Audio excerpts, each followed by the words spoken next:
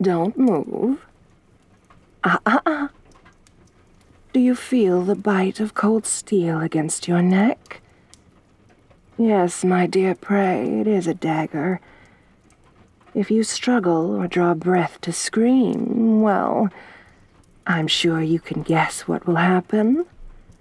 You wouldn't want to bleed to death all over these nice, fine linens, now would you? Good. That's what I like to hear. Silence.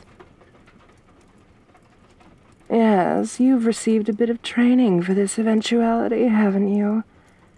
Every noble needs to know the protocol when facing an assassin. Although, in the end, the advice you're given is a bit silly, isn't it? If the assassin bothers to speak to you, remain calm. Don't give them a reason to kill you sooner than intended, hmm?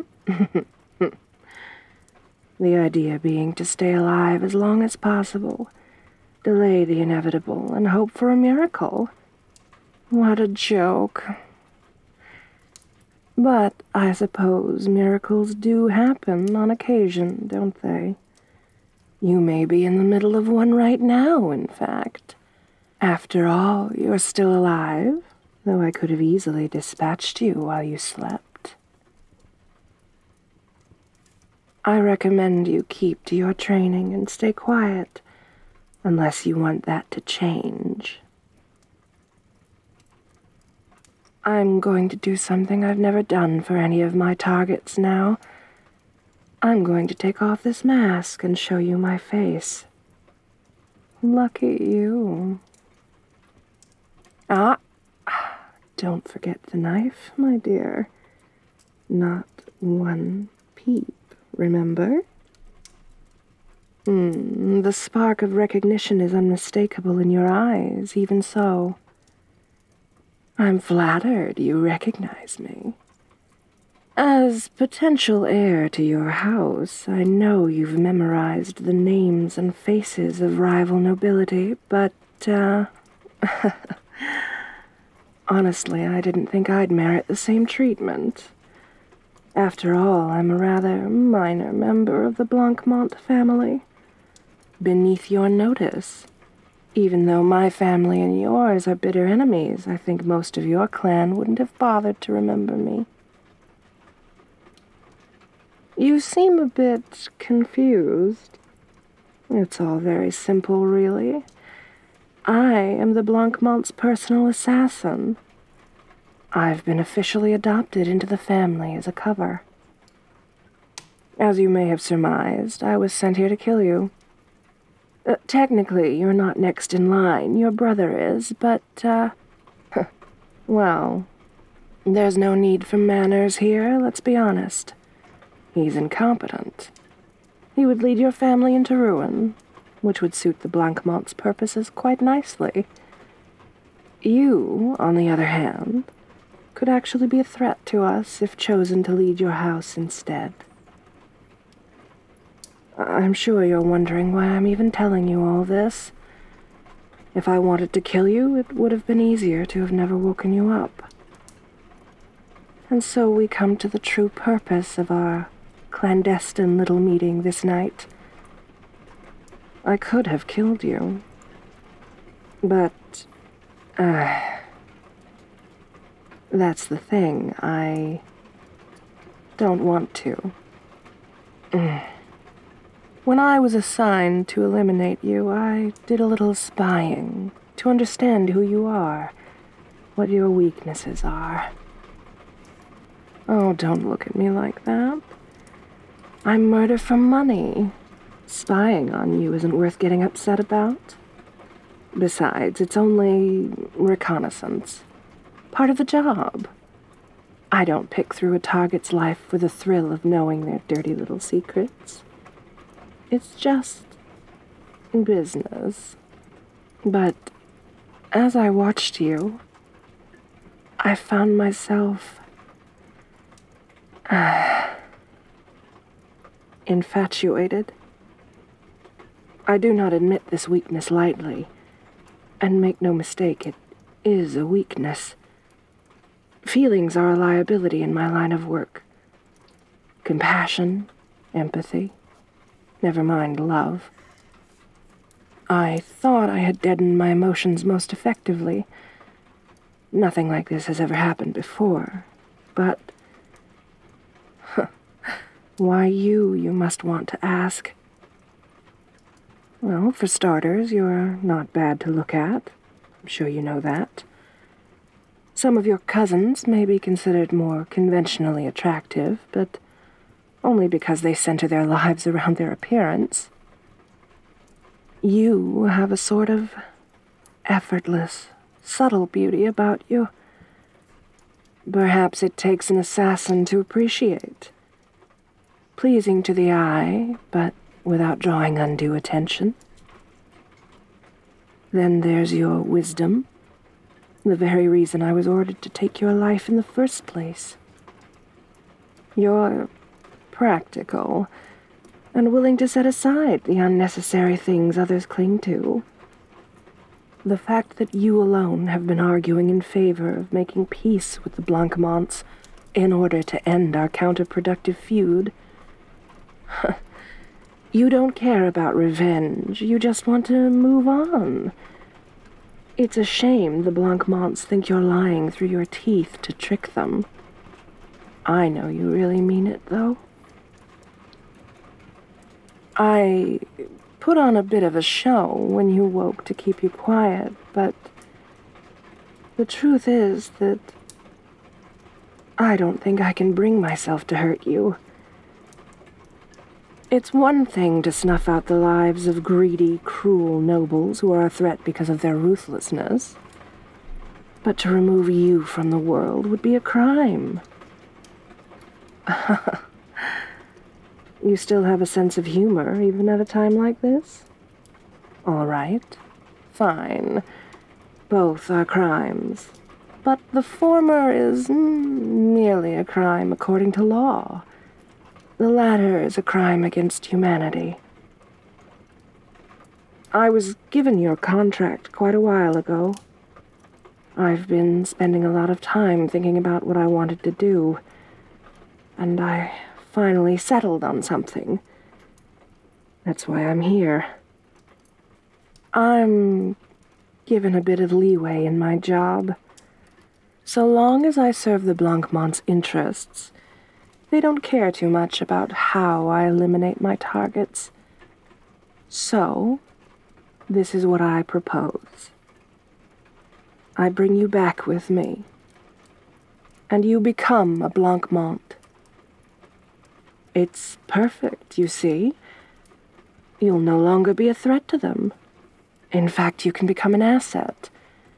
You won't have to die, and, well, we can be together. oh, sure. Technically, we'd be of the same house if you were adopted into the Blancmonts. But you know how common that sort of marriage is among nobles. At least in our case, we wouldn't be blood relations. So, what do you think? It's not a bad deal, is it? You get to live. I get a chance at you. And the Blancmont's bitter rivals lose power. Everyone wins. Ah, except your family. Yes, I suppose that is true. I don't like where this is heading. Ah. Huh.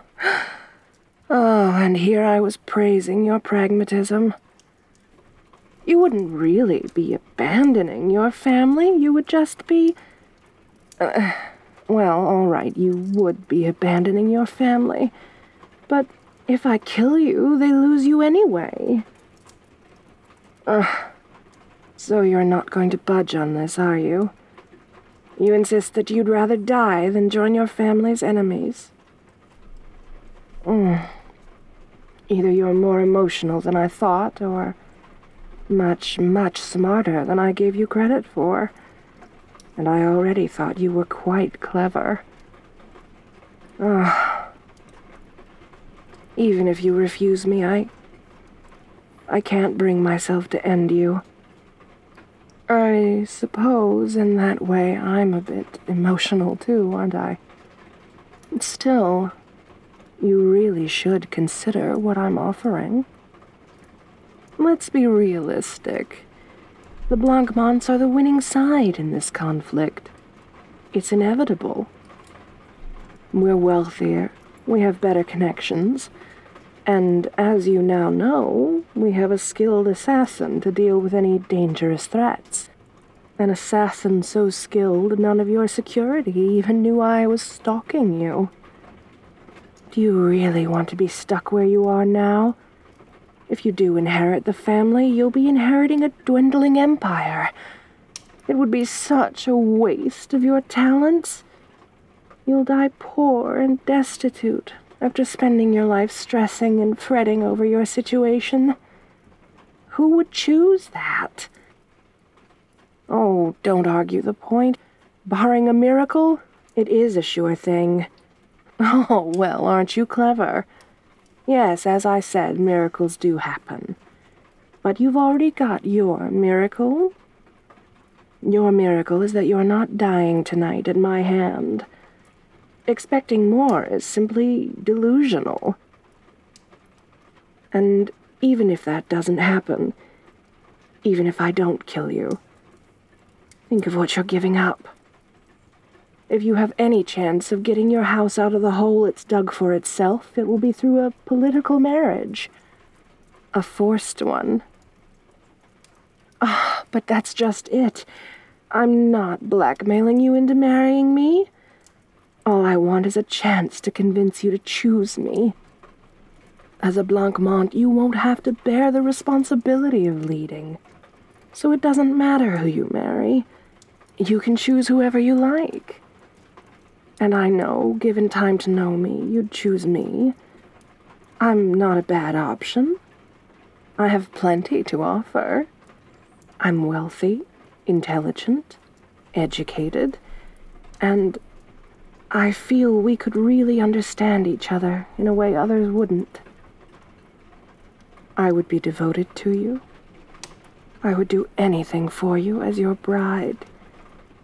Wouldn't you prefer an intellectual equal, someone with grit, to some pampered noble who has no thoughts of their own and no passion for you? You were born to nobility. You know what a marriage of convenience between houses is like. The two of you would lead parallel lives with nothing in common. Perhaps take the occasional lover to fill the void, but never be satisfied and no way out of the Union but death. Taking my offer is the only way you get a chance at something more, something only peasants can afford. Love. I. Well, I suppose technically I could join your house instead, but that's. I don't want you to take this the wrong way, but it's not as though I'm willing to drop my entire life for you. Or rather, I can't. I'm interested in you, and I'm taking quite the risk by ignoring my orders. A risk that may cost my life. But I am genuinely loyal to the Blancmonts. Even if it's technically only a cover, I am officially part of the family, and I am grateful to them. I owe them. You and I, we've only just met. I do see your point. If I won't drop everything for you, then how can I ask you to drop everything for me? I enjoyed observing your shrewdness from a distance, but I admit it's a bit frustrating now that you've turned it on me. Well, I suppose you've given me something to think about. You're more determined than my observations suggested. Hmm. I've just realized that I didn't accomplish even one of the goals I came here with. This is going to complicate things. Still, the fact that you can turn me away with nothing more than words intrigues me. I might be even more interested in you now than I was before. Uh, I expected to leave here with you. Or with your head, if I could muster the strength to master my own feelings. I didn't consider what would happen if you remained alive and at home. Well, I recommend you don't tell anyone that we spoke. Even if I can't bring myself to kill you, I don't have such reservations about anyone else. Don't test me on this, or they'll be the ones to pay the price. We'll speak again some other time. You may not have gotten the best impression of me today, but I'll try to show you a better side of me next time. One that I hope you're willing to fall in love with. And keep this in mind. At some point, I need you to stop being a potential threat to the Blancmonts. I may not be able to kill you, but unless we find another way, I may eventually have to resort to kidnapping. I would suggest you help me find another solution as soon as possible. If not, they may send another assassin. For now, I bid you good night. I hope you manage to get some sleep.